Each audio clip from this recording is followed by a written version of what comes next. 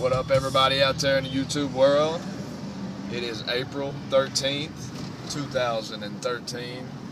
Haven't made a video in a while. Feel a little inspired to make one. I'm driving around town right now. Just picked up some nice fruits and vegetables. About to go home and be juicing them like a madman. Roll this window up, get that glare out. The sun is shining bright today. Just want to make a video talking. Um, you know about a verse in the book of Revelation when it's talking about the thunderings and the earthquakes and loud noises going off and the ark of the covenant being seen. We're at that point, I feel, we're at that point where we're being revealed what's in the ark. What's, you know, the things that we have forgotten about thousands of years ago that when God ordains, or when the time is at its right moment, He will have two witnesses to that will have all power. I mean, they'll have power. It says to make it rain in chapter, I think, Revelation chapter 11. I think is when it's talking about the two witnesses, and um, and to shut the heavens, to make it make a drought. They'll have power to do anything anybody who does not hear their message, which they're witnessing and giving a testimony of Jesus Christ, anybody who does not hear the message of the two witnesses, they will be shut off. They will be damned. And they come right right at the peak, right at the tip of when the mark of the beast is being issued. That's why, you know, it's right before that in Revelation if you follow the timeline of Revelation and don't take Revel- the book of Revelation out of context like so many people do continually. Uh, there's a reason why that book has more commentaries written and more videos and more opinions about it than any other book. And in my opinion, it's because they've missed, everybody's messed up on the first three chapters of the book. They're not getting the first three chapters, they're not quitting eating the meats that are sacrificed to idols that Jesus says two or three times.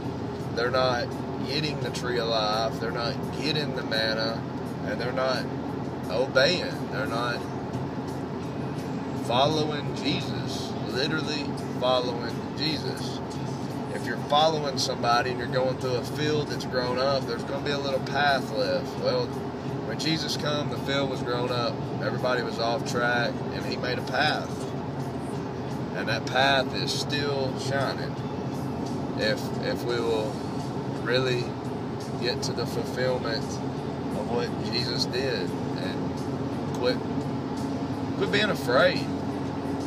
Quit being afraid of really doing what he did. We got all these churches that worship Jesus and but say they follow him. And then they they mess up on the simple the simple ingredients. They don't even baptize Jesus said to be born again, you must be baptized with water and spirit. Plain and simple. Well, you must be born again. Well, in order to be born again, you must be baptized by water and spirit. And we're not even getting the water part. So how are we ever going to get the Holy Spirit part if you're not even getting the easy fundamentals? How you going to get them things that are tri- really tripping people up? You know, them things that the Apostle Paul was talking about they would make certain foods illegal that he says he's telling Timothy in chapter 4 of the first book of Timothy. You know, in the end, people would pervert the way of God. They would leave God's way and choose man's law. If that's not what's happening today, I don't know what's happening. There's a reason why we got more cancer. There's a reason why we got more disease in this country and anywhere else. Same way Egypt God told the Israelites, if you'll follow my way, I will not let none of these diseases come upon you. Folks, there's no different today. They said it'll be like Egypt, spiritual Sodom and Egypt in the end. And that's that's America. It's the whole world. It's because the Roman culture took over the whole world, but America's the we're that whore. I mean, we're straight up come, come and you know, jump in our sin and swim around in it be merry. Well, no, actually, we want to be merry. We want to be merry in this world. We want to be happy. We want to help people heal. Because just as Moses was helping people in Egypt get over diseases, we can be doing that too. It's no different. It's no different. Jesus said that you must know Moses, you must know the prophets, and you must know the Psalms in order to know Him. So many people today don't even study the Old Testament. They don't study Moses. They don't study the Psalms. They don't study the prophets because that's that's the stuff I don't understand. I don't I don't understand that. I need a commentary and my preacher to explain it to me. Well, folks, your preachers aren't explaining it. You know, right now is when God said He'll open up them heavens, open up them doors, and dump down a blessing that you won't even be able to receive to those who are listening to me, to those who are trying, to those who are, you know, doing their best to follow me. You know, He knows when certain situations are beyond our control, but He also knows when certain situations are in our control that we can make that right decision when he'll lay two courses out in front of us and say, What are you going to choose? Just like on the Matrix, you're going to choose the red pill, you're going to choose the blue pill. One of them leads to life, one of them leads to death. The way to life in this world, it don't even look possible. But it is possible. Because God will he'll he'll bite he'll he'll snap them serpents' heads off, you know. It talks about in the book of Amos that he'll allow the serpent to bite some people well, he's allowing it to bite the ones who know better than to be doing what they're doing. And they just continue to keep doing it. And do it in a way that they mock people and stuff, you know?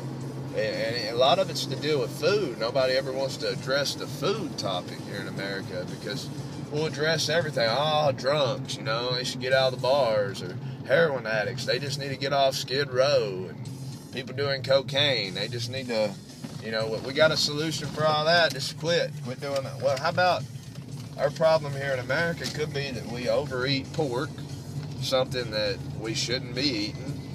And they'll say, well, Jesus said it's not what enters the man that defiles a man, it's what comes out of the man. Well, that's true. So you're going to justify eating pork, which something Jesus never put in his body if he was the Son of God, which he is the Son of God why, why would you put it in? If you're following him, why would you eat something that the guy you're following didn't? How do you justify that? I personally can't. I ate it my whole life. I ate it for 24 years straight. And then once I started, you know, really studying my Bible and not just what a sermon or a preacher was telling me, I felt convicted. I felt convicted to quit. I felt really convicted and I prayed about it. I prayed for strength. I prayed for help because it wouldn't take long for me to notice that I was addicted. That it was a very addictive thing, eating like I was. And I realized I'd made myself sick to a point. I'd made myself overweight and I made myself not feel good due to my lifestyle decisions. And I didn't just eat pork every once in a while. And nor do I think anybody's going to hell for eating pork. But I will say that once you quit, it is absolutely amazing. And once you do, you'll realize them things. Like I said, in America, we eat more pork than any other country in the world. We have more cancer, we have more multiple sclerosis, we have more disease than anybody in the world. But then we're we got such a good health care. Well, why do third world nations who live off, you know, pecans that they ration and pick up off the ground not have the diseases we have. But we're overdoing it, you know. And We've got a we've got a platter laid out in front of us, and we can't stop. It's like I just can't stop. I'm hooked. And a lot of stuff they put in our foods and stuff, they, they literally got us hooked. They got us addicted. And people do need help. And there's a way out there is a way out, but we got to start teaching the Word of God in order to give people that avenue for assistance to get out. They need that oil that Jesus put on people and anointed people that it talks about in Mark chapter 6. You know, that the apostles, they anointed the sick with oil. Well, people who overeat and, and are glutton and you know, overeat meat as it talks about in Proverbs chapter 23, and how it's the, the same thing as being drunk. So if, if, you're if you're talking about people being drunk, being wrong, and you're sitting there and you're overeating flesh of animals, you're doing no justice. You're only making your judgment book that Jesus and God will open up for us on judgment day thicker. You're only making it thicker. And me personally, I want mine as thin as possible even though I know I've did a lot in my life to make that book a little bit thick. But I'm doing my best to thin it out and to have where it says, I'll remember them sins no more. I'm, I'm trying my best, and it's, it's a work in progress. I'm making this video because we're in the times of discernment. We are in the times of justification and being justified. But if you're sinning, you're in the times of where you will be stuck in that sin forever. You won't ever be able to get out of it. And that'll be your justification. For those that are working and building the kingdom and serving and trying to listen to the Word of God, like it talks about in the book of Amos, there's going to be a famine in the end, but it won't be a famine, it says, of rain or, you know, crops growing. It's going to be a famine of hearing the word of God. You know, people are going to get dreams and visions. It says, and the prof, the prophet said, but there'll be a famine going on when pe- when God has given them dreams and visions, and it'll be a famine of discerning what they mean. So many people tell me these dreams all the time, and I'll just sit there and tell them right back, you know, what I think it means. Notice always, well, I never thought of it that way, and I'm like, you know, I'm not saying I can discern dreams or do anything like that, but people tell me dreams and they seem like they're all the same. They're all different dreams, but the the the message that I feel God's trying to get through to people that it seems like they're all the same, and it's giving clues on that ark when when it's being revealed back. And some people may be sitting there actually waiting on the ark to be found, and maybe it will be. I don't know. I'm not going to claim to know that. But I think it's more important that the church, any, any and everybody, because it's salvation's for everybody. I'll say that it is for everybody. Anybody, you know, God's trying to get us back to that.